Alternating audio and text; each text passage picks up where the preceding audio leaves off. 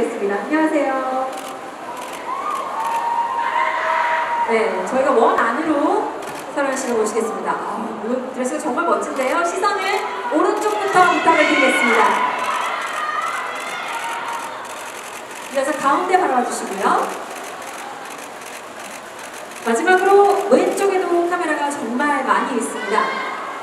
자, 오늘 이 서령 씨 드레스 그냥 여기에서만 멈추기 좀 아까운데요. 우리 팬 여러분 곁으로 좀 가셔가지고 인사를 좀 특별히 하실 수 있는 시간 가져보도록 하겠습니다. 네, 레드카페 끝쪽에 가셔서 우리 팬 여러분과 인사하시길 바랍니다.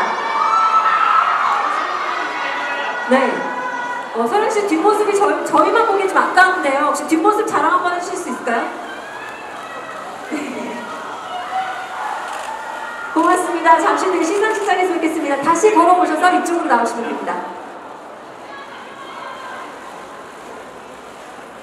네, 이분 정말 우아한 매력의 소유자시죠. 나영이 씨 안녕하세요.